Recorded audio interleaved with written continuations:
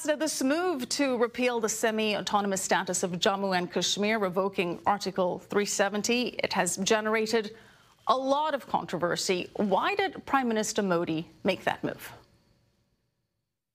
Well, let me briefly explain what we have done.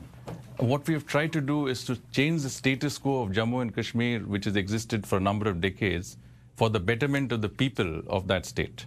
And what we have done is remove an anachronistic provision in the constitution that was always intended to be uniquely temporary in nature.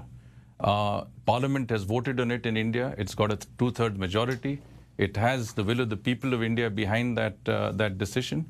And that decision is with the reason. And the reason is that uh, we've had uh, decades of, uh, let's say, uh, violence and strife, primarily fueled by cross-border terrorism from Pakistan.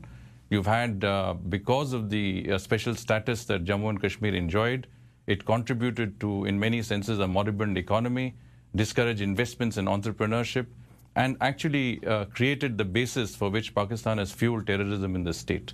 What we're trying to do is to change that status quo and try to give, uh, as I said, the people of Jammu and Kashmir uh, an, an, an, opportunity to go in for a, a completely uh, different and better future.